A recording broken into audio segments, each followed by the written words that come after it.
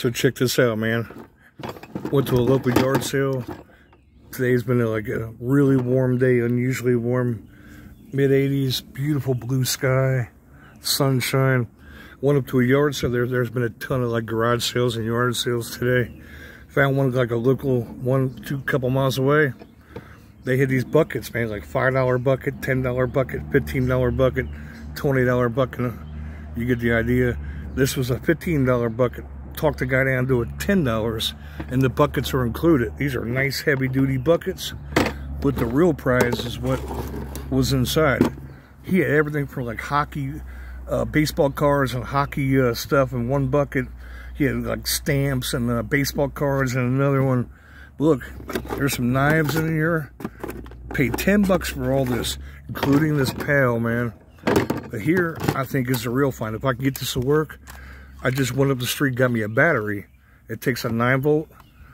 Now, a lot of you guys may, may or may not know about Radio Shack and the realistic brand. Let's see on the back here, it says Division of Tandy Corporation. See that? Well, I'll give you guys a little uh, history lesson. Radio Shack is no longer in existence. There isn't no, no more Radio Shacks. Realistic was the brand Radio Shack sold in-house for like equalizers, uh, speakers, um, receive, stereo receivers. But on the back where it says Tandy, Tandy was actually the first computer. Before they had Apple computers and Macs and all that, Tandy Corporation, radio, which was which is basically Radio Shack, they had the very first actual usable computers. Yeah, they were like, I guess they were like floppy drives, 3.4 uh, megabytes. I mean, today that sounds funny, but anyway, it takes a 9 volt battery. And uh, I went up to the gas station and I bought a 9 volt battery.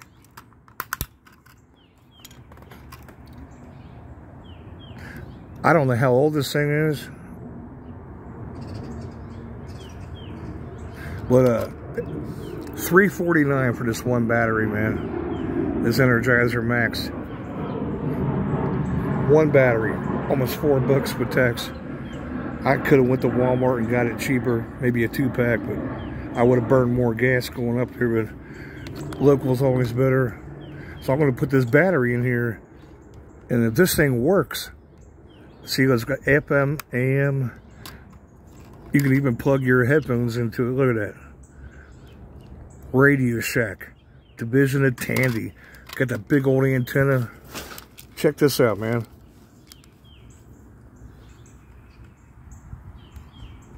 It's got a massive, massive antenna. Look at this thing, man. This is so cool. This shot. And here's your tuning. Look tuning knob still works. Here's a side tune here. And then your power is here. See the little black button here? Down is all the way off.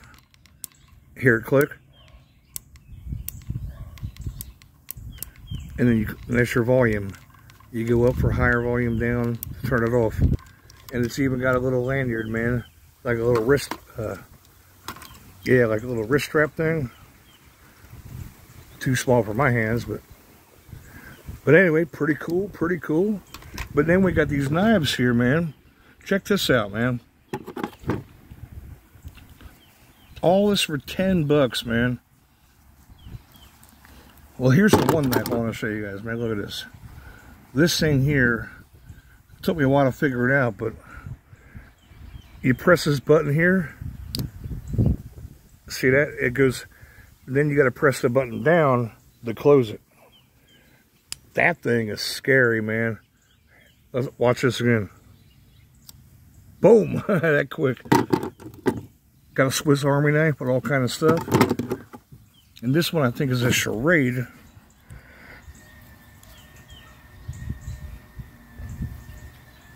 Yeah. With a sawtooth blade. Or no, stainless rusty Raspara Barracuda. It's hard to focus that. And then this one, this is a Schrade. I saw this. It's got the Schrade marking. And it's marked Schrade on the blade. Is this is a real Schrade. It'll sharpen up good and it's worth some money. I mean, that's a real Schrade. That alone's worth way more than what I paid for this whole thing. It says Schrade, but USA. But I don't see no serial number on the blade. And it feels kind of lightweight, but I don't know. And this gerber, I don't even know how to open this thing, man. That looks to be like stainless steel. That's got some kind of serial number on it. Engraved. I have no idea how to open this.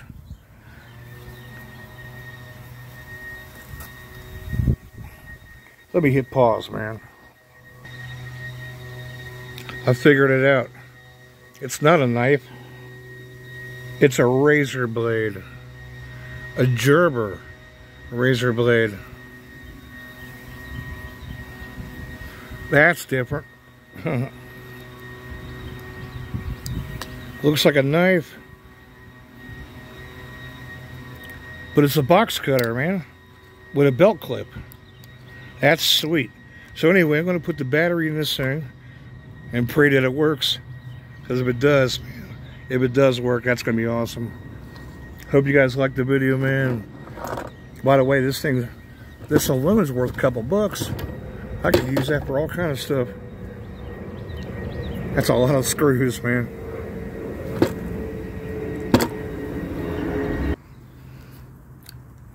We got the battery in. Let's see if this old thing works. Oh man, here we go. I hope it don't blow up. First test. Old realistic. And it's working.